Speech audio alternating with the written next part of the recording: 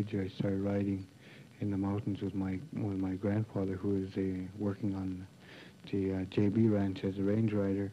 All of my education came out of out of the Hat Creek Valley. There's I was taught uh, our, where our hunting grounds were at and um, what time of year to go for them for deer and what time of year to go looking for berries and to harvest harvest our food for the winter. Um, so the valley really means a lot to me. The meat is hard to find now because of all the logging that's happening. The deer are having to move out into other areas. Um, say, for example, um, we hunted for two, three weeks and never even saw saw deer. You know, see old tracks, and that's about it. I mean, it takes that long now to get something. I don't. Uh, I don't believe that the wildlife is going to come back the way it used to be, but I think we can we can keep it at a level that that the people in the area can can continue to go out and hunt and to provide uh, the meat for their for their families. Um, now the Hat Creek project goes ahead, and uh, I don't think that that um, it's going to do the game any good. It's going to only make things worse. Um, the berries, the harvesting of different berries uh, is going to get worse, and the, also the um, the hunting is for sure going to get get to a level where it's almost impossible to find something. You better listen to the voices from the mountain, trying to tell you what you just might need to know. For the empire's days are numbered if you're counting, and the people just get stronger blow by blow. You better listen when they talk about strip mining, gonna turn the rolling hills to acid clay. If you're preaching all about that silver lining, you'll be preaching till the hills are stripped away. You better listen to the cries of the dying miners. Better feel the pain of the children and the wives. We gotta stand and fight together for survival. And that's bound to mean a change in all our lives.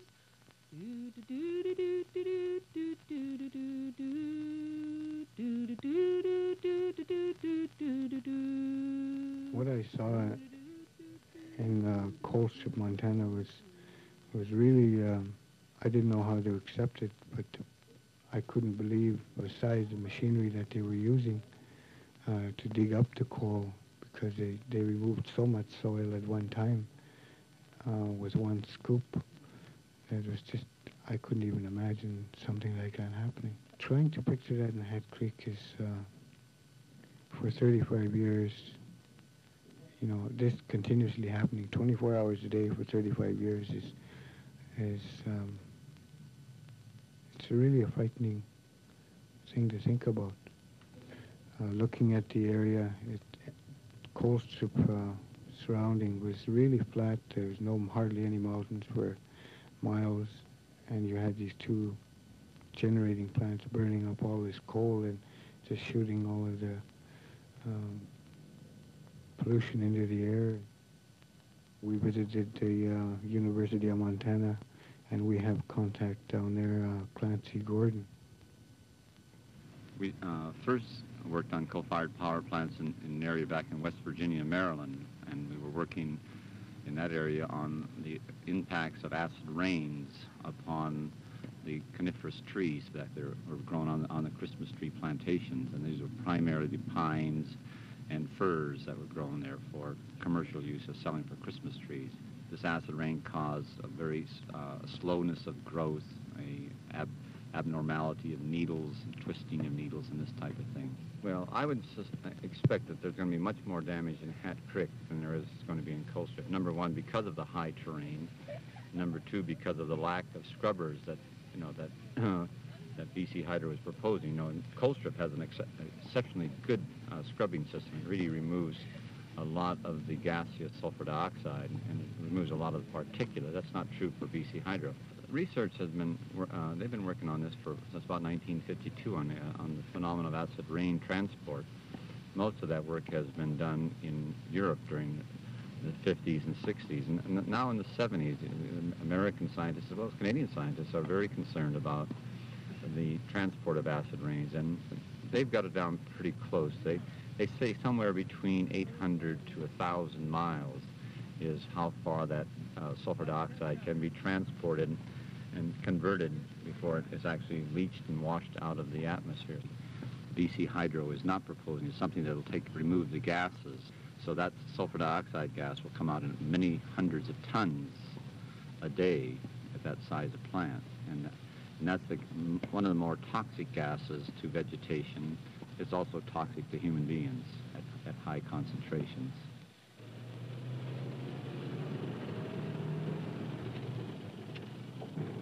At this mine, we mine one seam of coal. It's called the Rosebud seam. It averages about 23 feet in thickness. It's a medium-grade subbituminous coal. Averages about 8,600 BTUs, a warranted sulfur content of 0.8%. It's not the best coal in the world as far as heat out or energy output, but it is a very clean coal. These are two of our coal haulers. They're Euclid 120s. Carry 120 ton of coal belly dump. We have 14 haulers. Our shop building. We're expanding this as the mine grows. That stockpile right now is about half full. When it's full, it will hold 95,000 tons of coal. Divided into three zones with five feeders per zone to this underground conveyor. It's a weighing conveyor on an integrated grizzly system, and we'll convey the coal up to the uh, top of the loadout. There's an automatic sampler. We sample each train as it goes out. So the train is constantly moving as it goes underneath. It never stops. We can load out at the rate of 4,000 tons per hour, or we can load a 10,000 ton train in two and a half hours. We average, when we get the cars from BN, we average four train loads per day. We have been able to get as many as eight. What that amounts to is we can rotate that pile every 48 hours. Okay, so we've never had a fire. Uh, there's never been any spontaneous combustion or explosion. We work the pile with cats and keep it fed constantly into the uh, conveying system.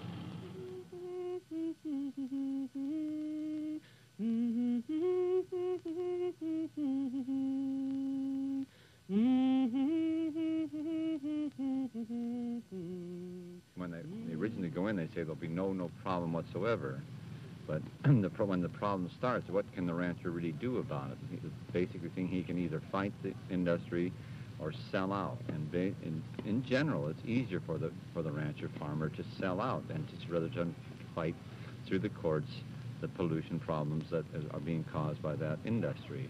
So that's a typical problem in many many areas where I have worked, where the damage occurs and therefore the company comes in and buys the property and they acquire more and more property, and therefore they have more and more to pollute. They're allowed to pollute more and more areas. That's actually their own property right now. But it's a, it's a, a serious situation because it takes more and more agricultural lands out of production.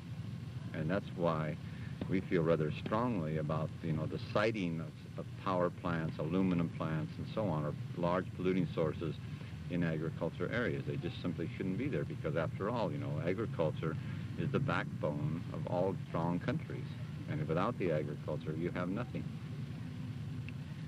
It's very hard to reclaim land, especially in an arid region such as the Colstrip area. This is similar to uh, the, uh, the arid region around uh, the Hat Creek area where they plan on putting it.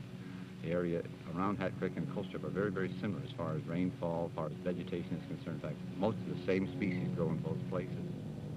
One of the more interesting aspects of the studies that have occurred out there on that reclamation land is they have put cattle back out on some of that land as well as on same uh, weight cattle, same age cattle, so on, as well as putting them on the old uh, native vegetation over there.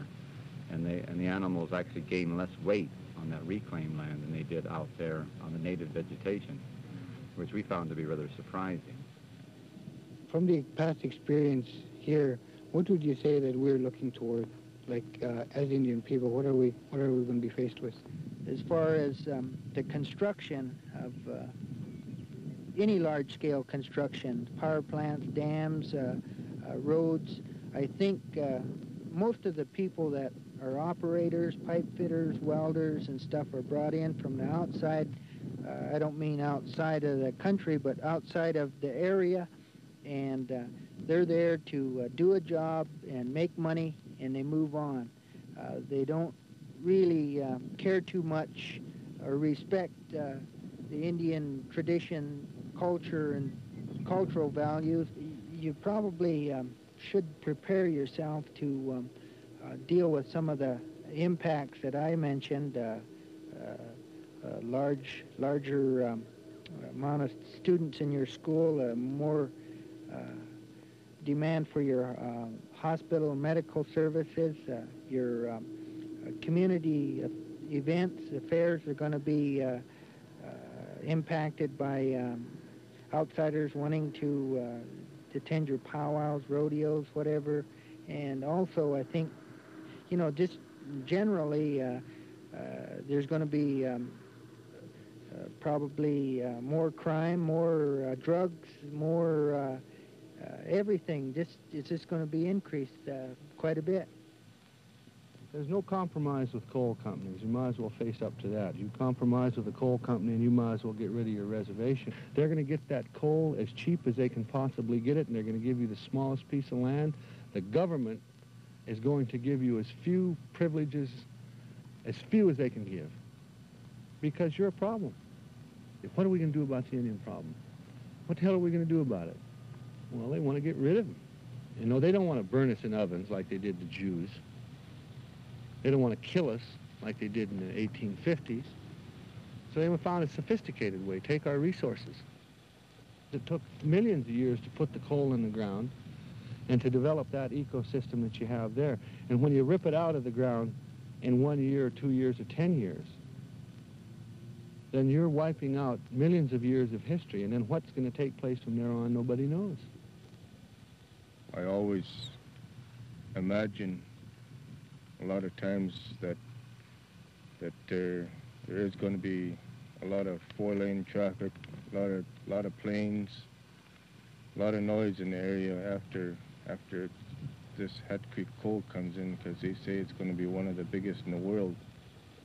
If the if the river the rivers are polluted and the watersheds are polluted, and then then all bands or all not only Indian bands, not only Indian people, but uh, the people that use use the benefits of the rivers downstream from here would be affected too because of the pollution that this plant would would put out. You know, because everything, all the the streams run downriver, and it probably go as far as the delta down in Vancouver. You can grow almost anything here is if you can apply water to it, and uh, you get a long seasonal summer and I, I just got no reason to move anywhere else. Would you move for BC Hydro? No. No, BC Hydro would pretty well have to pick me up and move me, but I'll be back. It's frightening to me. It's so difficult to compensate for large areas of land. Um, you know, how do they compensate for it?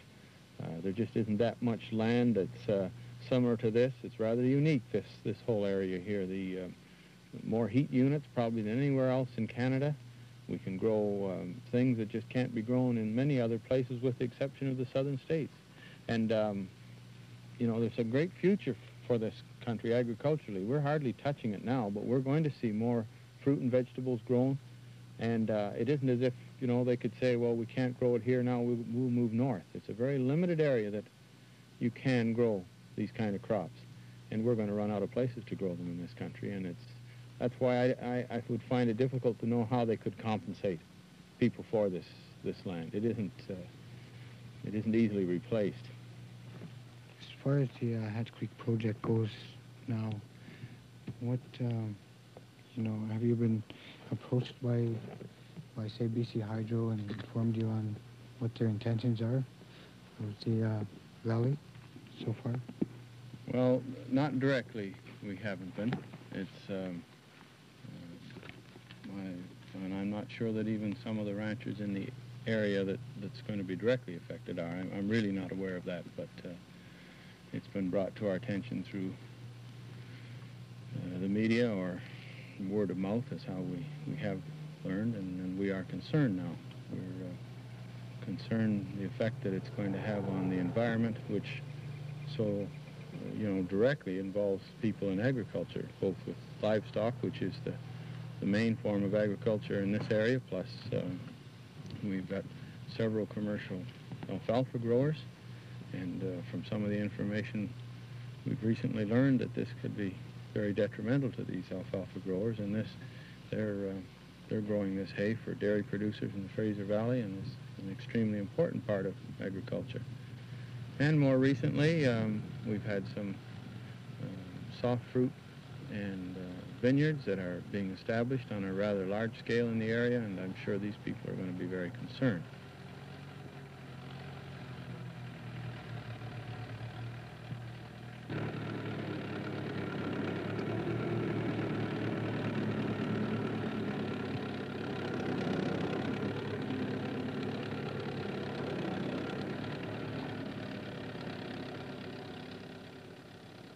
What are some of the concerns of the people about the uh, coal mine?